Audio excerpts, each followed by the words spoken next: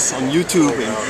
Hi, good afternoon everyone. I'm Rosie Gill again from University of Florida and I'm here at the exhibit with Michael.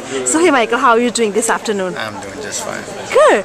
So can you tell a little bit about the like this medical services corp and how this goes, or how they hire entomologists, like just a little bit. I, I'm an AMEDD recruiter for the Army Reserve component, mm-hmm. and we're here today to try to look for qualified entomologists that want to join and serve their country.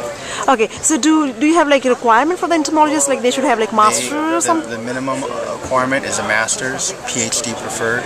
Uh-huh. Uh, the, the, education dictates the type of rank you'll come in as. If you are, if you have a master's, you'll come in as a first lieutenant. If you have a PhD, come in as a captain.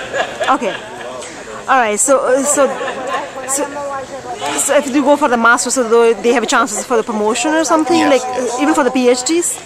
Well, for if you have masters and you come as a first lieutenant, within three years you get promoted to captain. Okay. It's just an entry level when you start. Okay. So do you have the really strict commitments for the holiday things or health? For for reserve component, your your obligation is one week in a month, two weeks during the year.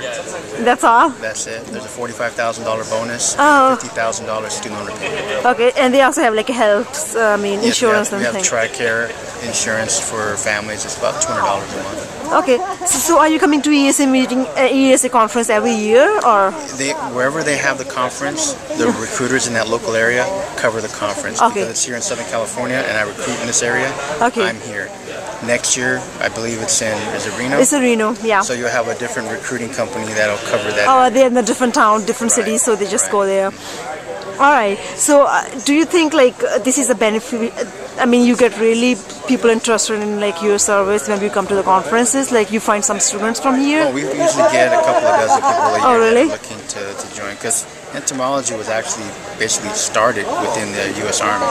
Walter uh, Reed is the one that actually got the entomology started within the Army component. Okay. So is this your first conference, or you have been to like a couple of other? I've been to a lot of other conferences, but it's my first entomology conference. So how do you like this? It's pretty. It's pretty unique. It's pretty unique. It's different. Different. So what's your favorite thing about entomology? Like I mean, entomology conference over here. I like looking at all the bugs over there. I know. Me too. I just want to. from different areas of the world. beetles like this big. Yeah. All right. Thank you so much for your time. I hope you enjoy the rest of the conference. Okay. Thank Thanks. You.